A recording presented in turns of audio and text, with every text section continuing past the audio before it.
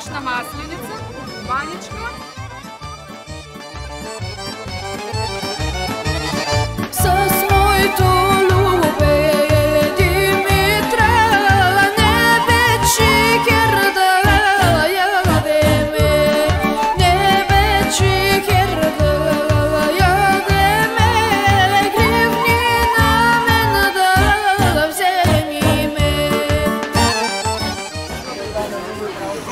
baklavası stakan, baklavası слишком stakan, имаше baklavası с, с, с орехи.